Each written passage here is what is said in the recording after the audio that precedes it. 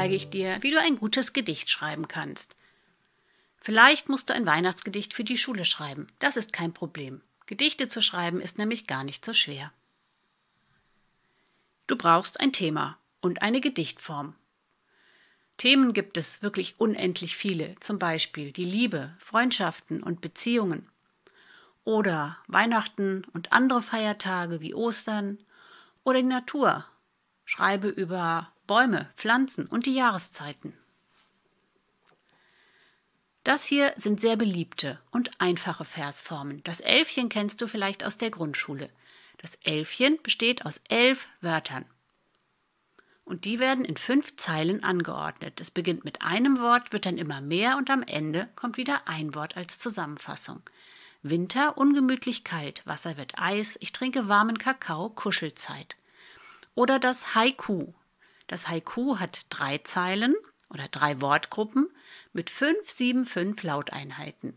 Sonnenuntergang, fünf Silben, eine Wolke kommt vorbei, sieben Silben, und deckt die Sonne zu, wieder fünf Silben. Hier findest du übrigens noch ganz viele Informationen zu Gedichtformen.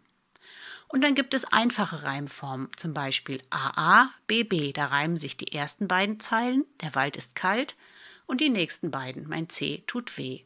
Oder ABAB, da ist der Reim abwechselnd, die Liebe am Meer, die liebe ich sehr. Nehmen wir als Beispiel das Thema Weihnachten und die Versform AABB.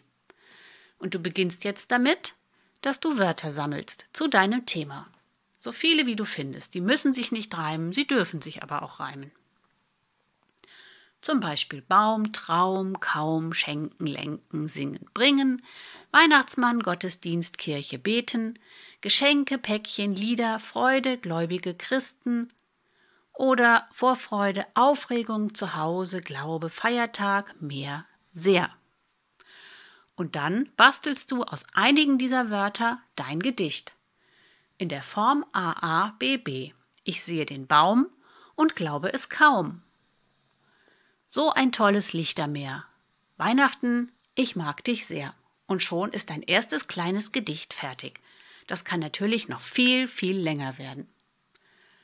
Nochmal Gedicht schreiben, Anleitung. Du brauchst zuerst einmal ein Thema, dann eine Versform, dann sammelst du Wörter und daraus schreibst du dann dein Gedicht. Und wenn dir dieses Video gefallen hat, dann beginnst du bestimmt gleich damit, ein Gedicht zu schreiben. Das kannst du dann gerne in die Kommentare posten. Viel Spaß!